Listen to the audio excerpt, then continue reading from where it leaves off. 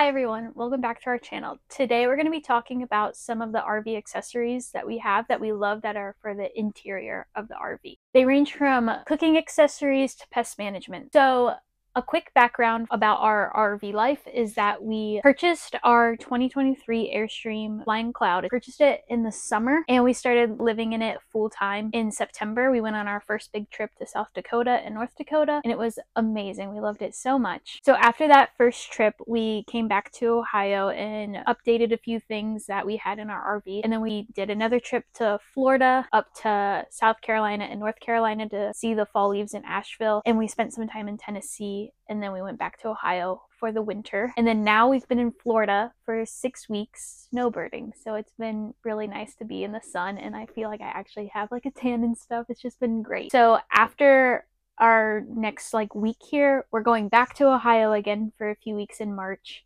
And then we're going to set off on our actual adventure. So we're starting in Texas first, and then we're going to end up going to Las Vegas, I think, and then up the California coast to the national parks there, up to the Pacific Northwest because we haven't been to those parks at all.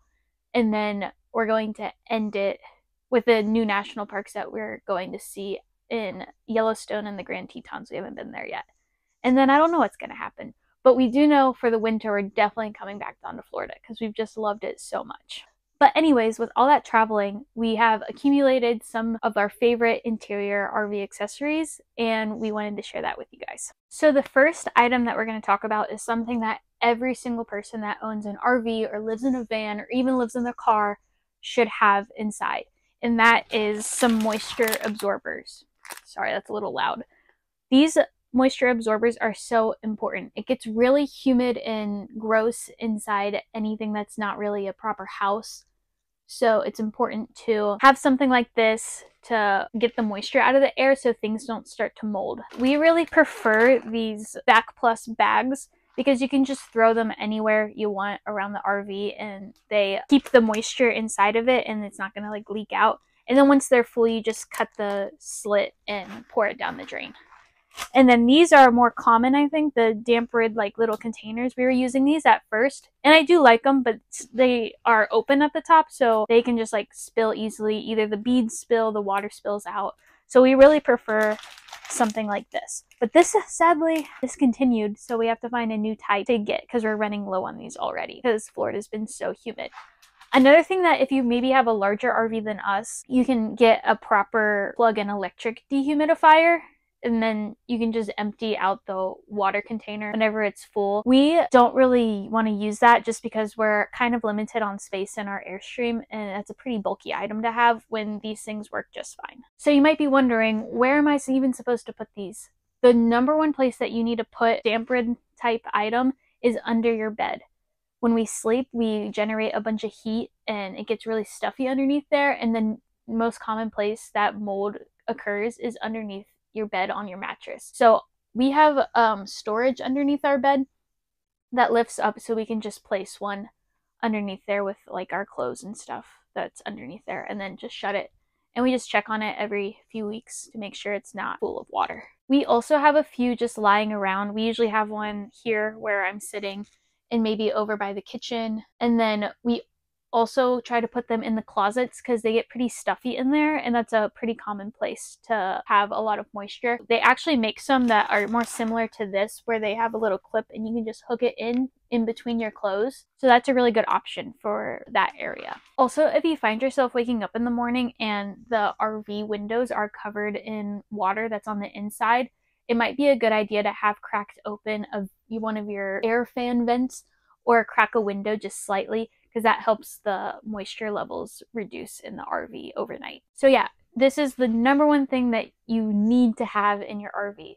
So purchase these now. the next item that we recommend is cooking related and it is these pots and pans that come with the detachable handle. So regular pots and pans that come with the handle attached, they are just so bulky and hard to store.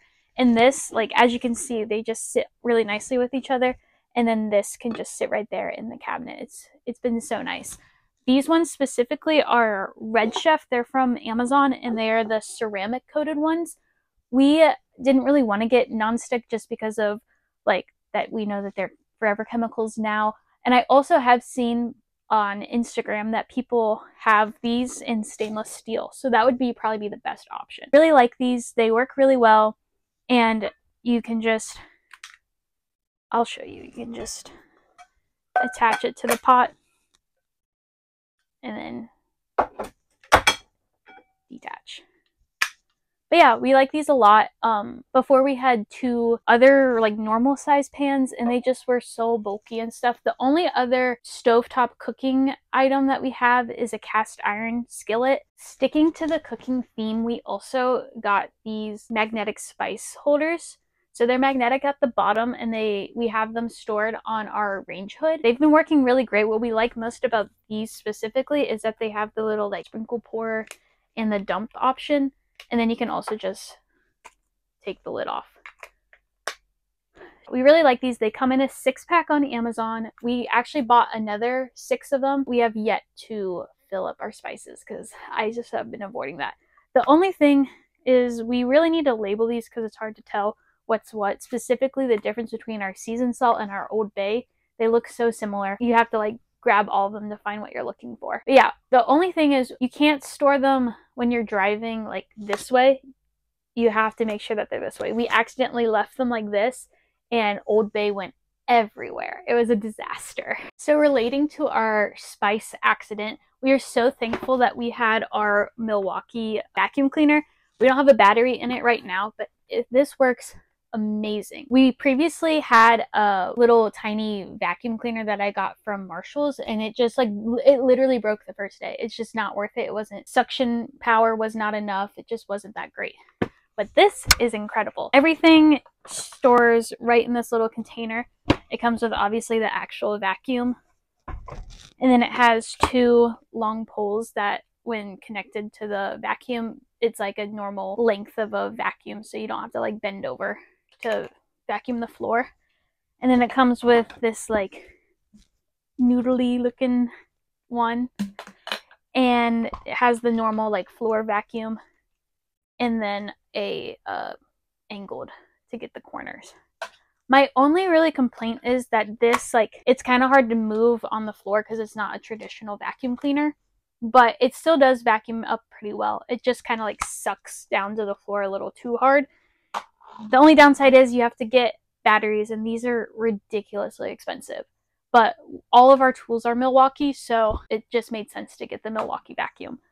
If you live in a bigger RV, it might make more sense to get a traditional vacuum cleaner. I would just recommend it being cordless, probably. But there's like the Dyson ones, or I'm sure there's some really good Amazon options. This beats using a broom to clean up all the dirt. And we just love how little space it takes up. This fits perfectly in our closet. This next item is one of my favorites. I would have this if I lived in my apartment or a house because it works that great. And it is the Zevo bug catcher. So it just plugs into the wall and it emits a blue light. And you have these uh, sticky backs that the bugs fly into and get stuck. I will show you what we've caught since um, staying in Florida. Look at all that. It is insane. Bugs are going to fly into your RV, even just walking in and out if you keep the door shut. But especially if you go out at night, all the bugs are going to fly in because the lights are on. It really stops me from having so many mosquito bites and having pests flying everywhere. It works best at night when you're sleeping and all the other lights are turned off, so they all attract to that blue light. I've seen this get bugs throughout the day too. It is amazing. And you can just buy these things, buy the replaceable packs for these. And yeah, we just keep it going until it's like super, super full and then just toss this. It is amazing. It works so well and it beats using a fly swatter and like trying to kill them all. This next item is our most recent purchase and it is an electric space heater. So the cost of propane is a lot, and we were blowing through it at night when we would have to turn on the heater. A lot of people recommended that we get a space heater instead, so I shopped around on Amazon and chose this one. And when it arrived, I unboxed it. I was like, I don't know if this is going to even work. Like, I highly doubt it's going to heat up our whole RV, but it does. We keep it in this area at night, and then we just face it this way, and it has a oscillating setting, and it keeps it at like low 70s and it's been getting down to like the 40s at night. But I'm sure if it was even colder, we could just place it closer to the bedroom and it keep that space even hotter.